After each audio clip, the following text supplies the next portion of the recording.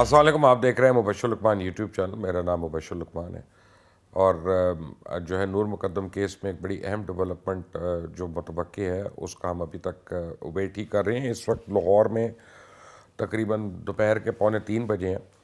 और अभी मेरी दो दफ़ा बात हुई है सुबह से इस्लामाबाद में, इस्लामाबाद हाई कोर्ट में वकला से तो नूर मुकदम केस में जो इसमत आदम जी और जाकिर जाफ़र की बेल का मामला था वो अभी तक पेंडिंग है। और ऑनरेबल जस्टिस आमिर साहब ने अभी तक उसका फ़ैसला जो है महफूज करके रखा हुआ और वो नहीं दिया उन्होंने। अब ये एक बड़ी ही एक ट्रिकी सी सिचुएशन है कि वो इतनी देर क्यों लग रहा है? एक बेल एप्लीकेशन है, उसके ऊपर फ़ैसला। और दूसरी बात यह है कि खुद ऑनरेबल जज साहब ने एक काउंसिल के की स्टेटमेंट्स के ऊपर अदालत के अंदर रिमार्क्स दिए थे पिछले हफ़्ते कि ये एक सिंपल बेल का मसला आप लोग इस पर इतनी लंबी लंबी बहस क्यों कर रहे हैं? इतनी लंबी लंबी तावीलें क्यों दे रहे हैं? और ये तो फौरी फौरी इसको हाँ या ना में फ़ैसला होना चाहिए। तो बहरहाल जब वो सारा कुछ ख़त्म हो गया तो फिर जो है वो उसके बाद फ़ैसला महफूज हो गया और तब से हम पिछले हफ़्ते से अभी तक चौथा दिन है, हम वेट कर रहे हैं। कि फ़ैसला आए। फ़ैसला आज रात को या शाम को, किसी वक्त आ सकता है। वैसे उम्मीद है कि फ़ैसला कल आएगा। अब इसमें दोनों साइड जो हैं, वो इस पे दे माइट फील एलेटेड कि जी ये जो एक साइड पे वो सोच होंगे कि जी बेल होनी है, तभी इतना टाइम हो रहा है।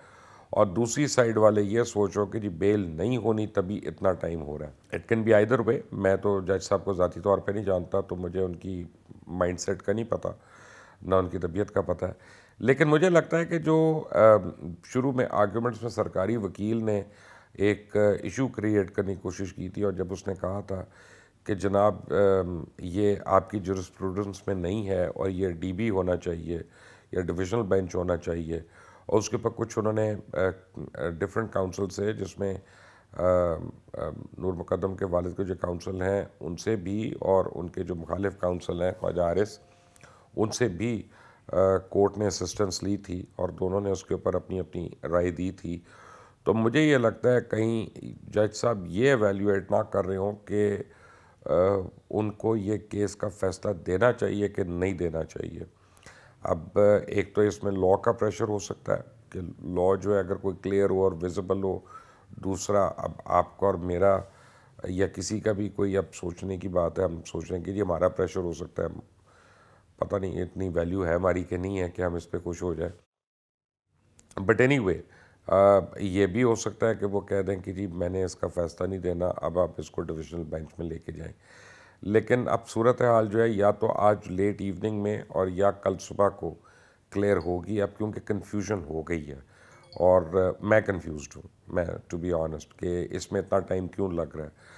लेकिन मीन वाइल वो जो दरिंदा है, दरिंदे ने अमेरिकन एम्बेसी को ख़त लिखा था और उसने कहा था कि जी मुझे परफ्यूम्स चाहिए, मुझे ड्यूडेंट चाहिए, मुझे किताबें चाहिए और मुझे अपनी मर्ज़ी की उसको कुछ और और खाना पीना चाहिए। और उसने कहा कि मैंने फ़ास्ट फ़ूड खाना है यहाँ पे।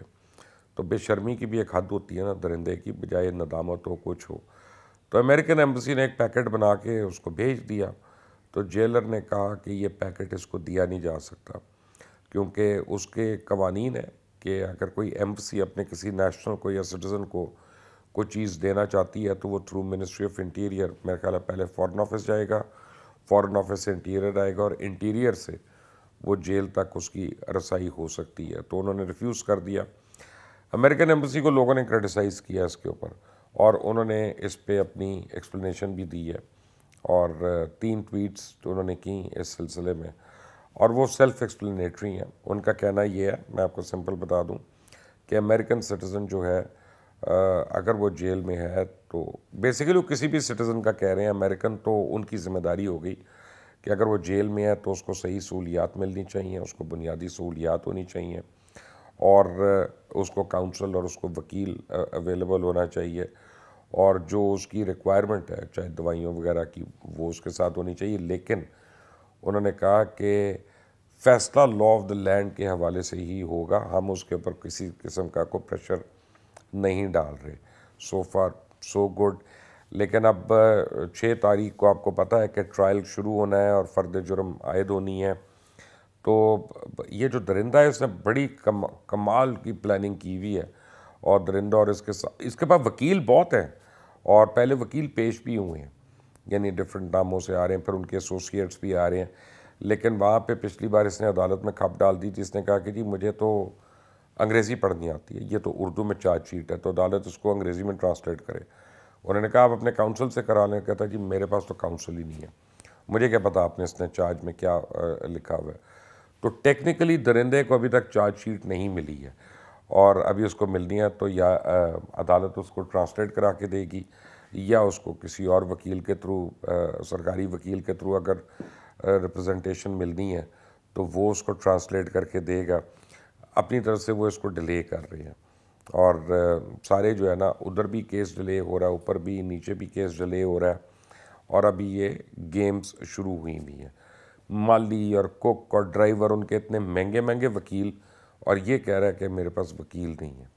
और एक से ज़्यादा वकील तो माँ बाप के पास हैं, जो उनके लिए सारी एडवाइस वगैरह भी कर रहे हैं। और ये सारी एक प्लानिंग के तहत हो रहा है।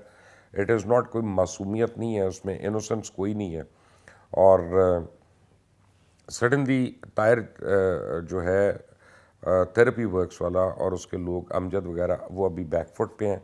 जब से उनकी अपील खारिज हुई है कि जनाब वो मुद्दई बनना चाहते थे, इस केस में विटनेस बनना चाहते थे वो जब खारिज हुई है तो उसके बाद अभी तक जो है आ, उनकी तरफ़ से खामोशी है। मज़ीद कोई प्रेस कॉन्फ्रेंस नहीं की कोई स्टेटमेंट नहीं दी कोई बयान नहीं आया। लेकिन अब जस्टिस आमिर जो हैं इस्लामाबाद हाई कोर्ट के वो क्या फ़ैसला करते हैं?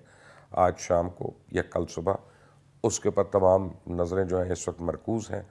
ट्रायल क्योंकि छः तारीख को शुरू होना है तो ट्रायल का उस दिन से पता चलना शुरू होगा। ये बेल का फ़ैसला इंतहाई अहम है क्योंकि इसके बाद फौरी तौर पर थेरेपी वर्कस वालों की ख़िलाफ़ जो नूर मुकदम के वालिद ने अपील की हुई है कोर्ट में कि इनकी बेल को खारिज किया जाए या कैंसिल किया जाए और इनको दोबारा गिरफ़्तार किया जाए, उस केस की भी सुनवाई जो है, वो फिर जस्टिस आमिर के सामने इस्लामाबाद हाई कोर्ट में आनी है। तो जैसी कोई अपडेट आती है, मैं आपको बताऊँगा। इस चैनल को सब्सक्राइब करना मत भूलें, बेल आइकॉन को प्रेस करना मत भूलें। अल्टी द नेक्स्ट टाइम अल्लाह हाफिज़। कई सालों से खरा सच आपके लिए लेके आ रहा है इन्वेस्टिगेटिव प्रोग्राम्स हमने सैकड़ों सब्जेक्ट्स के ऊपर हज़ारों शोज़ जो हैं वो आपके लिए लेके आए। लेकिन अब बहुत सी बातें हैं जो टेलीविज़न पे नहीं की जा सकती, लेकिन सोशल मीडिया पे हम ज़रूर कर रहे हैं और कर सकते हैं। YouTube channel Mubashar Luqman official इसको अगर आप फॉलो करते हैं और आप इस पर बेल आइकॉन को प्रेस करते हैं सब्सक्राइब करते हैं अगर आप यूट्यूब पे जाके। तो आप इंश्योर करेंगे इस बात को कि हमारी जितनी भी खबरें हैं न्यूज़ हैं व्यूज़ हैं लेटेस्ट अपडेट्स हैं और वो बातें जो आपको कहीं नहीं मिल रही, वो आपको यहाँ पे मिलेंगी इन स्टे ट्यून टू मुबशुलमान ऑफिशियल यूट्यूब चैनल सब्सक्राइब करना मत भूलिएगा बेल आइकॉन प्रेस करना मत भूलिएगा.